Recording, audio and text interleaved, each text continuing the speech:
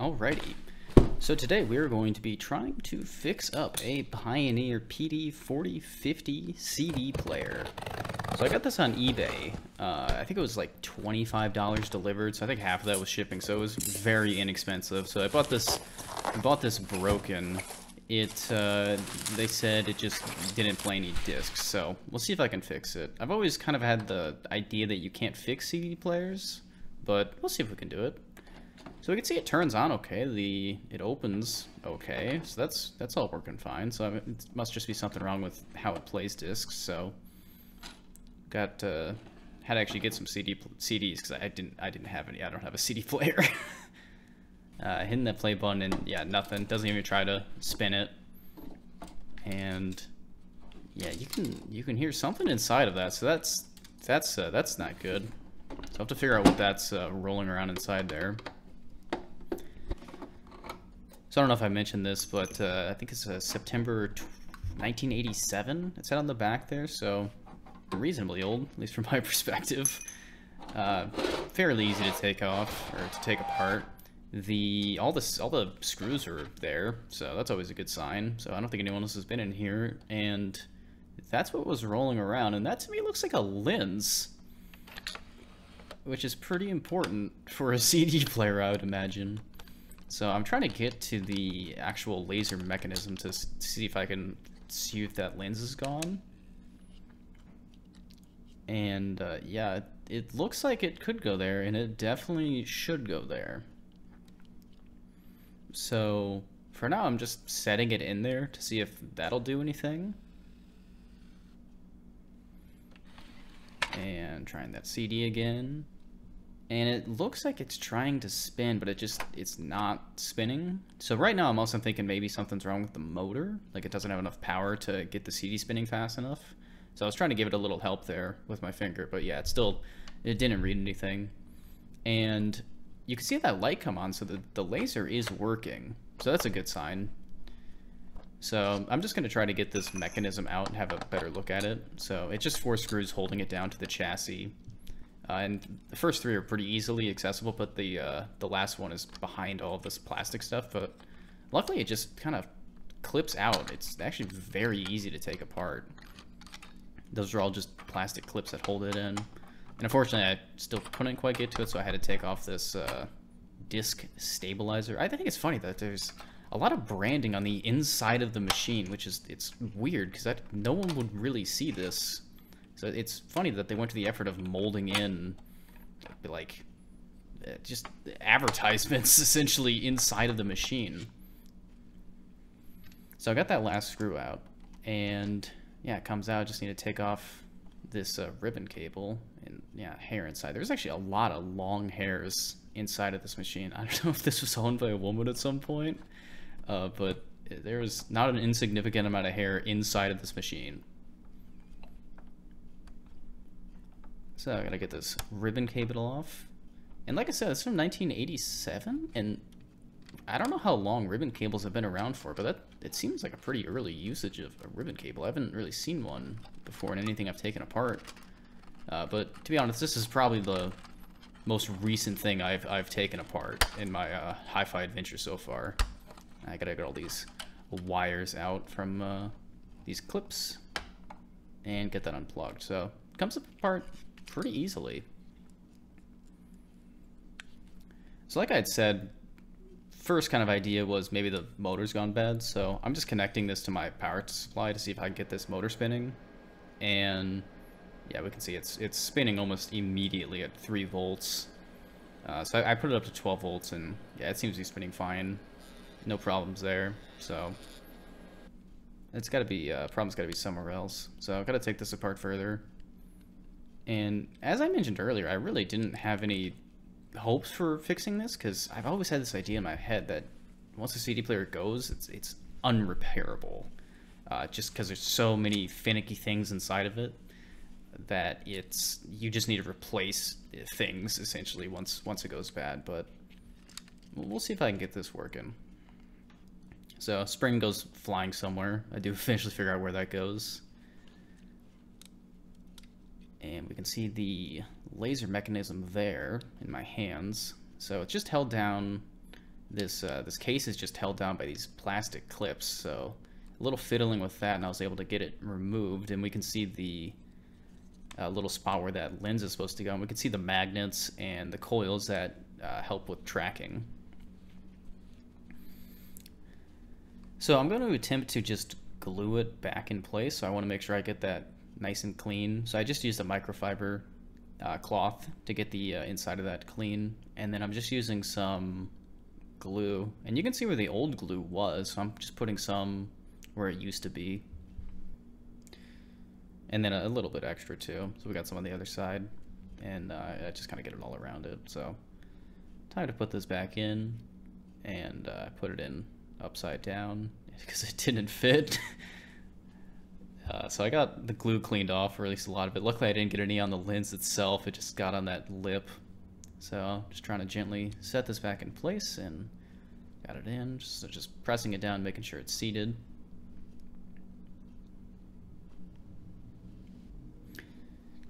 And then I got the uh, macro lens on, just making sure that's all uh, seated correctly. You can see some of the remnants of that, that glue I got on the, uh, the lip there.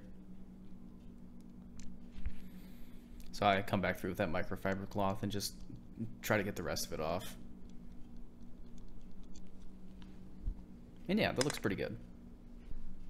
So this is the next day, so the glue's all hardened up and it's in there pretty solidly. So let's get this put back together and see if we can uh, get some music out of this. And like I said, I'm really not expecting this to work. Just re-gluing the lens back on, I mean, surely it has more issues than that.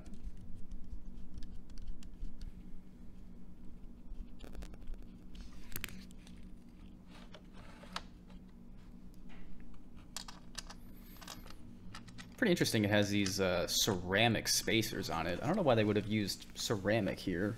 Uh, but yeah, just kind of interesting nonetheless. I think it's a pretty good um, anti-vibrational mounting. So even with those screws all the way in, you can see how much it can move around. I mean, needless to say, it still skips a lot. Uh, but that might have been that might have been some spoilers actually. So trying to get this disc stabilizer part back in, and yeah, I couldn't I couldn't get the spring in the right place.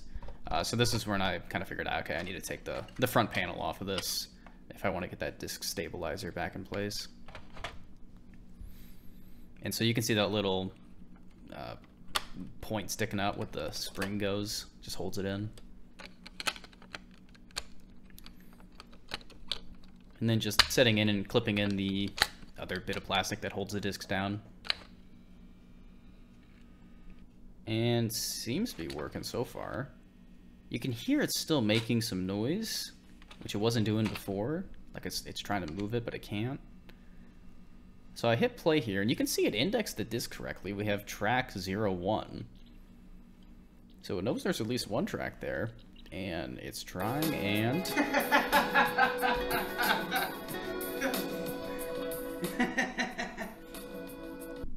Yeah, I was pretty excited. I, I had zero expectations for this thing working, but you can hear it's still it's making grinding noises. So I did I did something wrong. So have to look at that.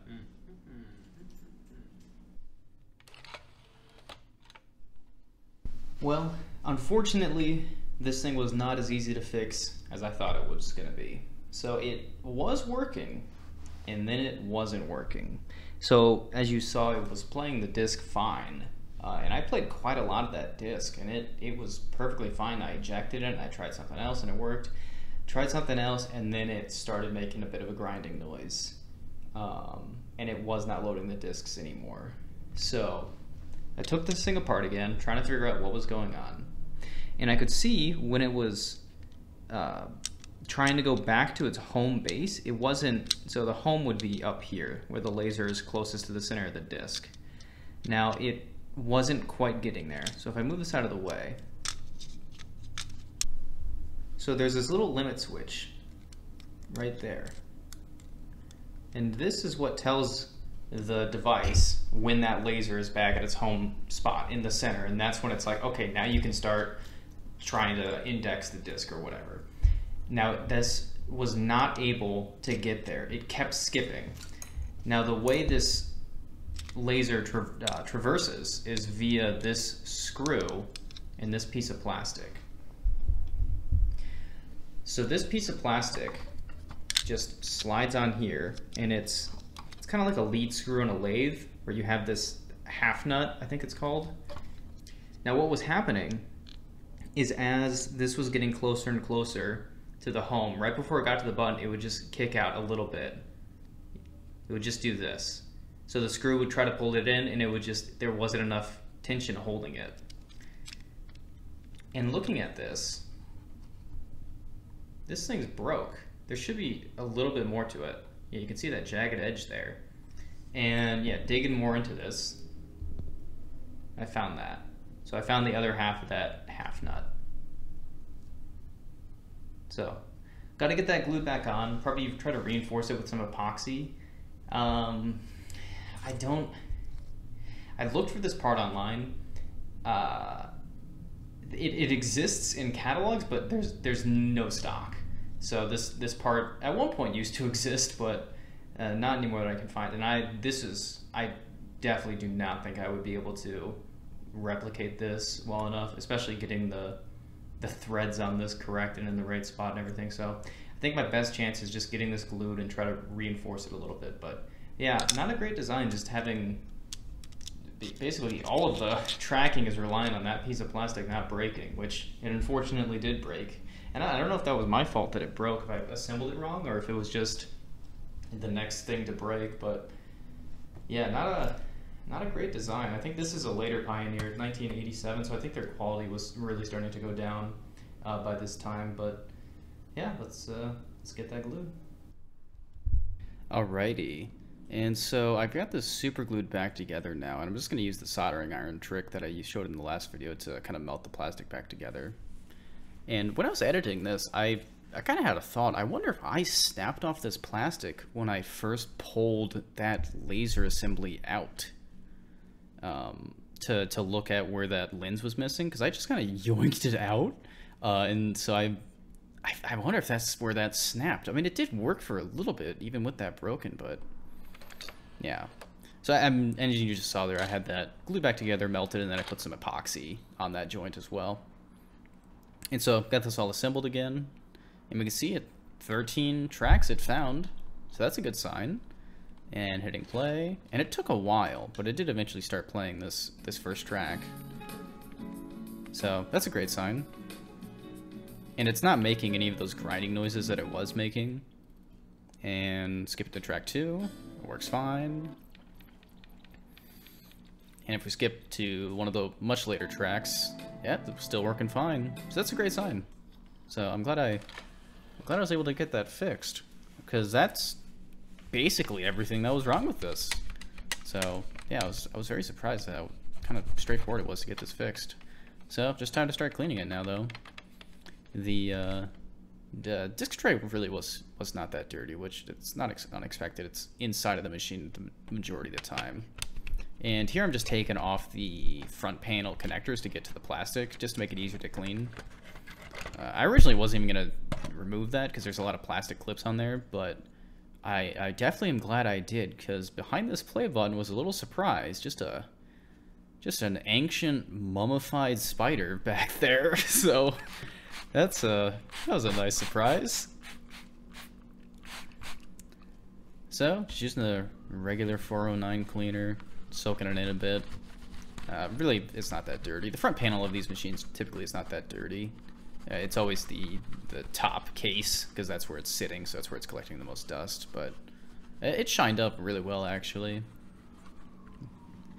So I didn't live that hard of a life.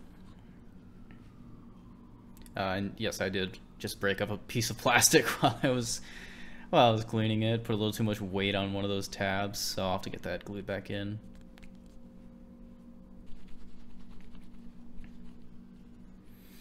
And I got that uh, spider removed it. Just it just turned to dust, honestly, when I when I went to remove it, but I got it out of there and then just getting the rest of that spider web out.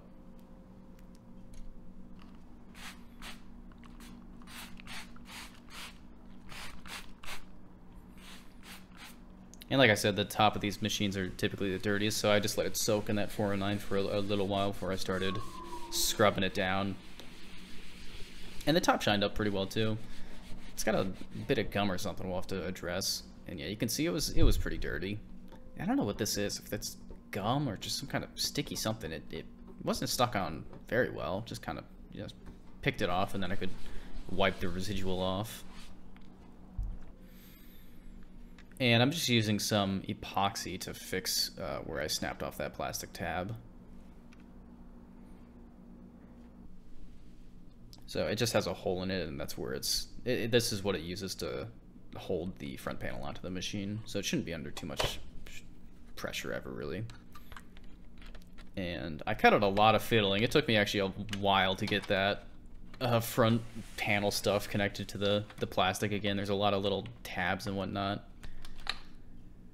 And got this all assembled and screwed back together, and yeah, the mechanism seems to be working fine. It's not jamming up anywhere.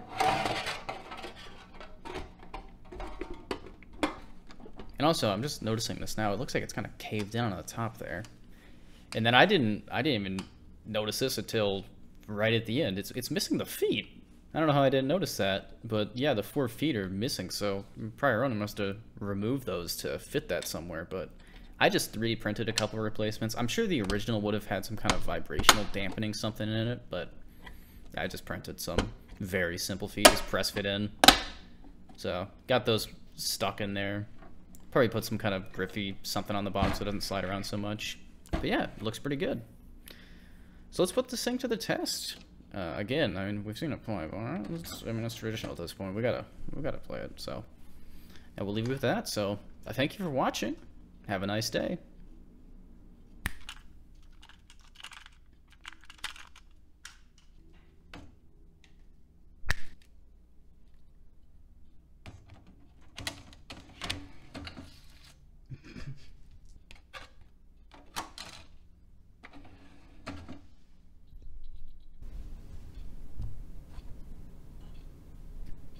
I mean, come on. You didn't think I would just have you look at a plain CD player now.